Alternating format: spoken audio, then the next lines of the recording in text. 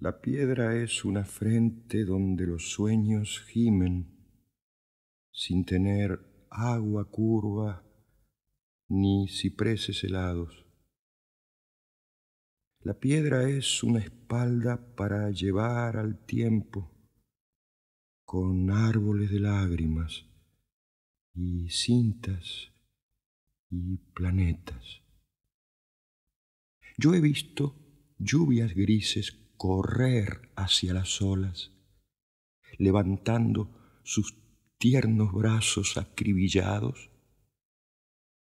para no ser cazadas por la piedra tendida que desata sus miembros sin empapar la sangre. Porque la piedra coge simientes y nublados, esqueletos de alondras y lobos de penumbra, pero no da sonidos, ni cristales, ni fuego, sino plazas y plazas y otras plazas sin muros. Ya está sobre la piedra Ignacio el bien nacido. Ya se acabó. ¿Qué pasa? Contemplad su figura. La muerte le ha cubierto de pálidos azufres y le ha puesto cabeza de oscuro minotauro. Ya se acabó. La lluvia penetra por su boca.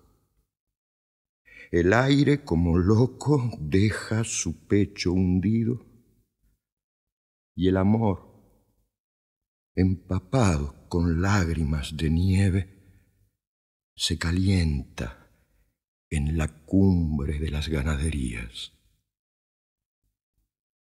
¿Qué dicen? Un silencio con hedores reposa. Estamos con un cuerpo presente que se esfuma con una forma clara que tuvo ruiseñores y la vemos llenarse de agujeros sin fondo. ¿Quién arruga el sudario?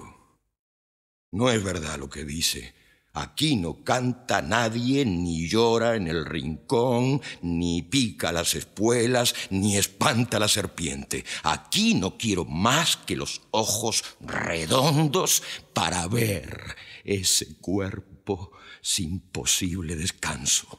Yo quiero ver aquí los hombres de voz dura, los que doman caballos y dominan los ríos los hombres que les suena el esqueleto y cantan con una boca llena de sol y pedernales. Aquí quiero yo verlos.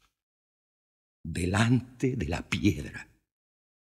Delante de este cuerpo con las riendas quebradas. Yo quiero que me enseñen dónde está la salida para este capitán atado por la muerte. Yo quiero que me enseñen un llanto como un río que tenga dulces nieblas y profundas orillas para llevar el cuerpo de Ignacio y que se pierda sin escuchar el doble resuello de los toros, que se pierda en la plaza redonda de la luna que finge cuando niña, doliente res inmóvil, que se pierda en la noche sin canto de los peces y en la maleza blanca del humo congelado.